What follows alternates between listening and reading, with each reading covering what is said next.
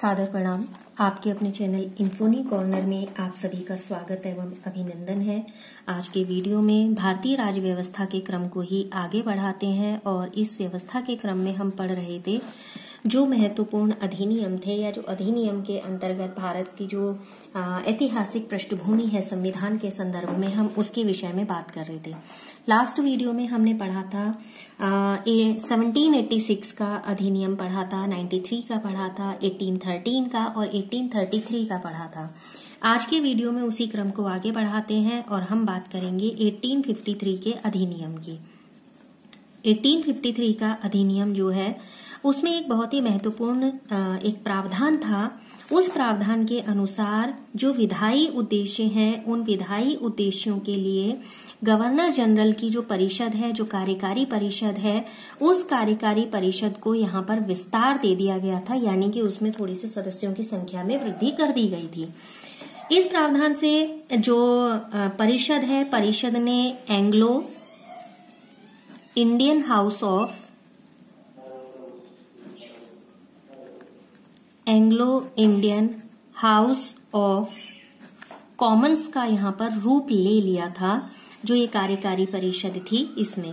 तो ये कुछ ऐसे प्रावधान थे तो ये ध्यान में रखने वाली बात है यहाँ पर। अब बात कर ले अगर कि जो 1853 का जो अधिनियम है, उसके अंतर्गत क्या क्या महत्वपूर्ण प्रावधान थे या अधिनियम में क्या था तो अधिनियम में कानून सदस्य जो था कानून सदस्य को परिषद का पूर्ण सदस्य यहाँ पर बना दिया गया था, क्योंकि पहले इसे पूर्ण सदस्य नहीं कहा गया था, क्योंकि इसे मत देने का अधिकार नहीं था, बैठकों में आ सकता था। लेकिन यहाँ पर अब इस अधिनियम के द्वारा क्या किया गया, जो कानून सदस्य को बाद में एंटर किया गया था कार्यकारी परिषद में, उसमें इसे अपूर्ण सदस्य का एक अधिकार दे दिया था या पूर्ण सदस्य के रूप में यहाँ पर स्थापित कर दिया था। जो प्रांतों में केंद्रीय व्यवस्थापिका थी तो प्रांतों को यहाँ पर लिख ही देते हैं।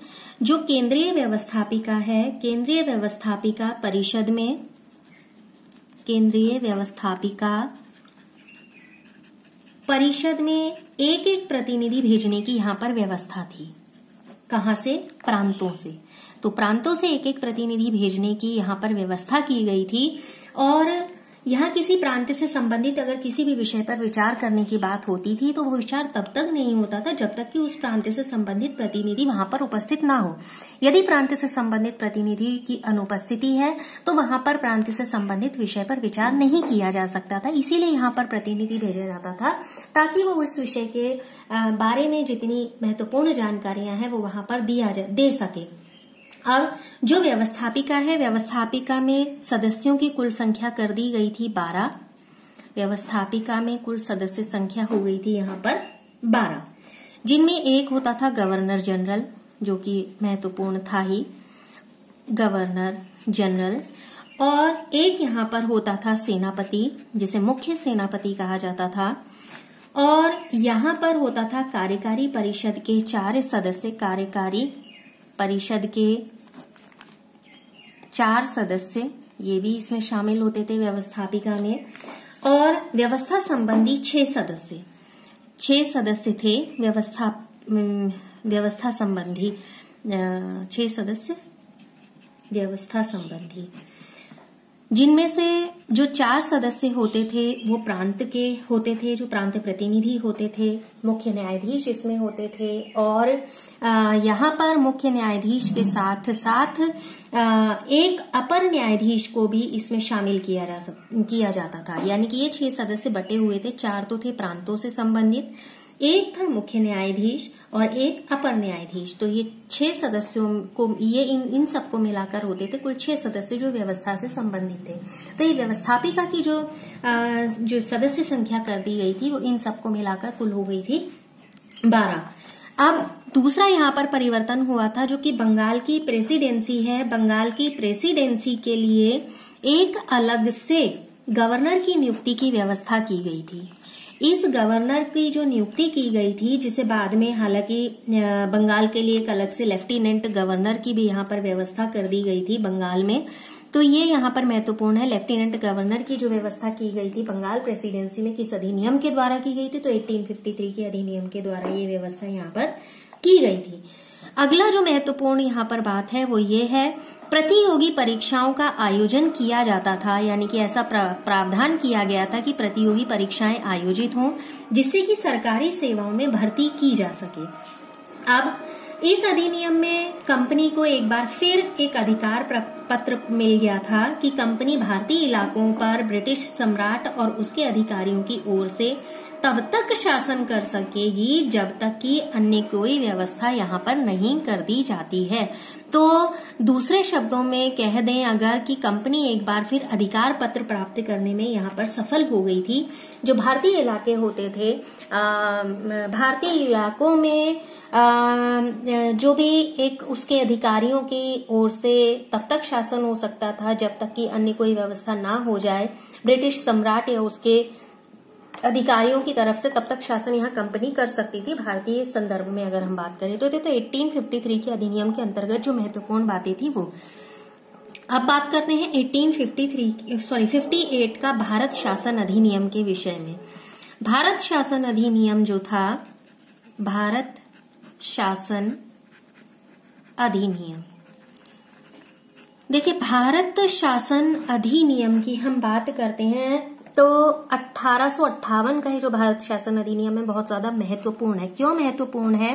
क्योंकि अठारह में हुआ था स्वतंत्रता के लिए जो विद्रोह हुआ था, यानी कि प्रथम स्वतंत्रता संग्राम जो हुआ था, अब उसके बाद क्या होता है? ब्रिटिश संसद ने एक अधिनियम पारित किया। इसी अधिनियम को 1858 के अधिनियम के तौर पर जाना जाता है। जो अठारह का जब विरोध हुआ था, विद्रोह हुआ था या स्वतंत्रता संग्राम जो हुआ था अठारह का, इस स्वतंत्रता संग्राम ने ऐसी नीतियों को उजागर कर दिया था जिससे संसद को उन्हें हटाने का एक बहाना मिल गया था किन लोगों को? जो कंपनी है उसको। क्योंकि अठारह का स्वतंत्रता संग्राम एक तरीके का इंडिकेशन था कंपनी की नीतियों का। यानी कि इस संग्राम ने कंपनी की नीतियों को उजागर कर दिया और इस संग्राम की वजह से संसद को उसे हटाने के लिए यहाँ एक बहाना मिल गया, यानी कि कंपनी को हटाना चाह रहे थे, लेकिन ये एक ऐसा कॉज हो गया जिसकी वजह से वो अब उसे हटा सकते थे। अब क्या होता है, अठारह के विद्रोह के साथ ही बहुत मतलब दो और महत्वपूर्ण घटनाएँ यहाँ पर घटित होती हैं। क्या घटित होती हैं, ऐसा कहा जाता है। ये पहला जन संघर्ष था जो इतने बड़े पैमाने पर हुआ और ब्रिटिश शासन के अगेंस्ट हुआ था। ठीक है, हालाँकि हमने पाइका विद्रोह के विषय में भी पढ़ा है 1817 का, लेकिन जो फ़िलहाल किताबों में मेंशन है, क्योंकि वो अभी तक मेंशन नहीं हुआ है बुक्स में तो यहाँ पर हम इसी की बात करेंगे फिर अठारह की। जो ब्रिटिश शासन के खिलाफ विद्रोह हुआ था, वो सबसे सबसे पहला विद्रोह है जो इतने बड़े जन स्तर के आधार पर हुआ था, या इतना बड़ा जन संघर्ष था, हालाँकि ये असफल रहा, वो एक अलग चीज़ है। लेकिन शुरुआत तो हुई। इस विद्रोह को कुचलने के लिए जो ब्रिटिश संसद है ना, जो सारी शासन की बागडोर है, वो शासन की बागडोर ईस्ट इंडिया कंपनी से छीन लेती है, और वो शासन की बागडोर यहाँ पर चले जाती है ब्रिटिश संसद के पास। अब जो भी यहाँ पर काम होना है, वो ब्रिटिश संसद के अनुसार यहाँ पर होना है। अब जब ये यहाँ पर ईस्ट इंडिया कंपनी से चला गया है, ब्रिटिश संसद के पास सारी शासन व्यवस्था तो जो हमारा वर्तमान संविधान है, उस वर्तमान संविधान के निर्माण की प्रक्रिया की एक तरीके से कह सकते हैं, ये ऐतिहासिक या हिस्टोरिक स्टार्टिंग थी। तो जिसकी पहली कड़ी के रूप में ब्रिटिश संसद ने भारत शासन अधिनियम 1858 यहाँ पर पारित किया। अब क्या हुआ? इसमें सम्राट के नियंत्रण का प्रमुख स्थान था और प्रशासन में जनता को यहाँ पर कोई स्थान नहीं दिया गया। जैसा कि पहले हमने पढ़ा था कि आर्थिक और धार्मिक स्तर के, का ध्यान में रखकर तब कानून की बनाए जाए और उसके बाद उनका पालन किया जाए। तो यहाँ पर जनता को इग्नोर किया गया था इस अधिनियम के द्वारा। इस अधिनियम में जो सम्राट की शक्तियों का प्रयोग कर सकता था तो वो केवल कर सकता था भारत सचिव। भारत सचिव के द्वारा पंद्रह सदस्यों की एक परिषद भी यहाँ पर सहायता करती थी। यहाँ पर उसके भारत सचिव के साथ होते थे पंद्रह सदस्य, ये सब मिलके यहाँ पर काम करते थे। जो भी सम्राट है, उसकी जितनी भी नियम है या जो भी चीज़ें हैं, उनको फॉलो करने के लिए, उनकी मदद करने के लिए यहाँ पर भारत सचिव यहाँ पर था। परिषद है। परिषद ने इंग्लैंड के व्यक्तियों से मिलकर एक ऐसी परिषद बनाई जो ये परिषद बनती थी, ऐसे इंग्लैंड के व्यक्तियों से मिलकर बनती थी, जिसमें से कुछ सम्राट द्वारा मनोनीत होते थे या सम्राट के द्वारा जिनको सजेस्ट किया जाता था। और कुछ ईस्ट इंडिया कंपनी के निदेशकों के प्रतिनिधि होते थे। तो ये जो सदस्यों की ये संख्या या जो ये कमेटी बनती थी, ये क्या होती थी? इंग्लैंड के ही व्यक्तियों से मिलकर बनाया जाता था। इसमें भारतीय व्यक्तियों को न शामिल करके दो तरीके के व्यक्तियों को इसके अंदर शामिल किया जाता था। एक तो सम्राट के द्वारा जिन्हें मनोनीत किया जाता था या जिनके नाम सजेस्ट किए जाते थे और कुछ ऐसे सदस्य होते थे जिनको ईस्ट इंडिया कंपनी के निदेशकों के प्रतिनिधि होते थे, उनको इसमें शामिल किया जाता था। अब भारत सचिव जो उत्तरदायित्व, दायी होता था, वो उत्तरदायी होता था ब्रिटिश संसद के प्रति। गवर्नर जनरल के माध्यम से भारत का शासन करता था और इसका संपूर्ण उत्तरदायित्व होता था ब्रिटिश संसद के प्रति। और गवर्नर जनरल कार्यकारी परिषद की सहायता करता था, जैसा कि अभी तक उसका काम रहा, वैसा ही काम इस अधिनियम के अंतर्गत भी उसका रखा गया। और इस परिषद में सरकार के उच्च अधिकारी भी होते थे। अगर हम कुल मिलाकर कह दें, अगर इसे कंक्लूड कर दें 1858 के अधिनियम को तो पहली चीज़ जो यहाँ पर इस अधिनियम के द्वारा उजागर होती है यहाँ पर केंद्रीकृत था यानी कि भारतीय प्रशासन सॉरी यानी कि भारतीय प्रशासन क्या था? केंद्रीकृत था यहाँ पर इस अधिनियम के द्वारा जो पूरे राज्य क्षेत्र थे प्रांतों में बांटा गया और आ, हर के लिए आ, जो टॉप मोस्ट रखा जाता था एक गवर्नर या लेफ्टिनेंट गवर्नर रखा जाता था और इनकी सहायता के लिए यहाँ पर बना दी जाती थी परिषद। गवर्नर या लेफ्टिनेंट गवर्नर रख दिया जाता था और यहाँ पर बना दी जाती थी परिषद, या कार्यकारी परिषद जिसे हम कहते हैं। वही यहाँ पर क्या करता था? प्रशासन कंट्रोलिंग का काम करता था।